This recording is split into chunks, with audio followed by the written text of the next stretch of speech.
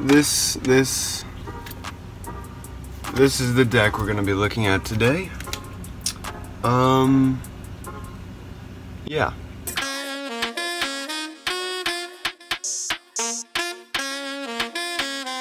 I've got I've got quite a couple things to say about this deck of cards. Good and bad things. We have our pros and we have our cons list. Don't worry. We will get to that. We will get to that. Just to talk about these a little. So these are the Fontaine holographic edition. The box is great looking. I love the box so much. I love the back design. I love basically everything about how they look.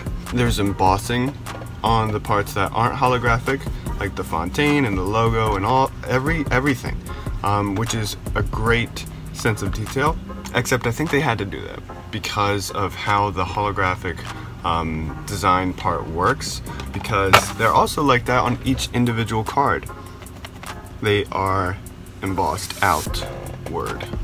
First time looking at these um, yesterday when I got them and played around with them, I didn't like them. Um, to be honest with you, I did not. Because if you take a quick look, take a quick look at this ace, you can actually see the F on the Fontaine on the outside, on the other side. They are so thin. They're so incredibly thin. Like, it's nuts. Um, and it's not really a good thing for me because I don't really like cards being that thin.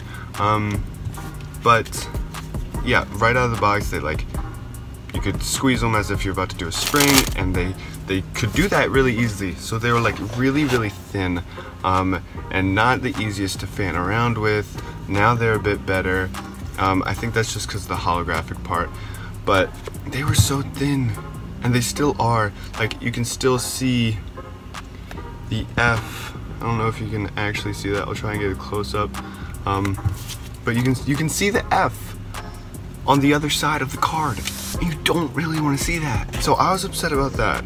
Not gonna lie. Don't like the cards being that thin. But now they kind of grew on me. By the way, that ace though. Look at that ace. It's pretty dope looking. Um, even that, even that is like embossed. Embossed? I don't know. Um, because it's outwardly embossed. So, But I honestly love the deck now.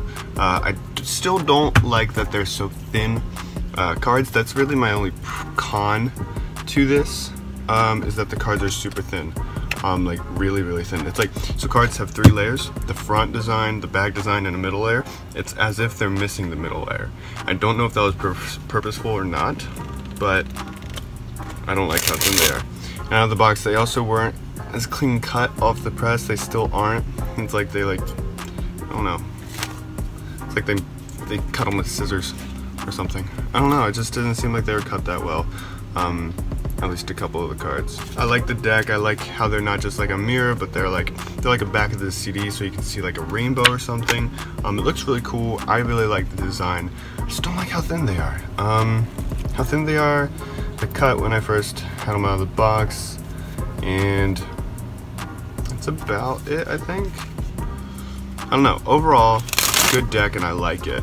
Um, definitely worth the buy. There's there's a certain feeling to them. They're smooth still. They have air cushion finish, which is nice. But like, there's a certain like like like plasticky feeling. I guess again that would be the holographic part, but it's not enough to be like, ew, this isn't Fontaine or ew, this isn't USPCC. Like it's still it's still good. It's still um, a really good deck of cards, um, which I'm surprised. So yeah, they did a really good job.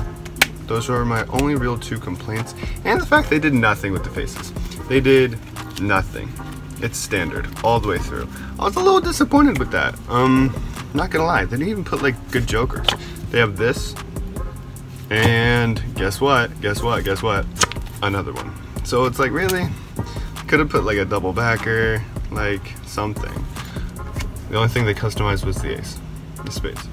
So like, I kind of like that standard, but like, you're not gonna go around using this for magic and stuff like no one no you're not gonna do that um, so like customize the faces at least so I'm a little disappointed that they didn't about that so those are the cons um, really no custom faces A little rough on the edges right outside the box more than usual uh, too thin and too thin for me. Um, they feel a little odd. But all in all, I do like it. The pros outweigh the cons, and the pros are basically everything else of a good deck of cards. Um, so I do like them.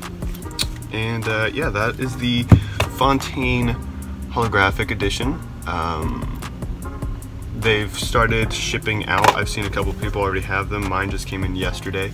Um, today being August 24th. So yeah, it was a good surprise to have them early. They were supposed to come today. Um, but yeah, that's my that's my review on them. I like them.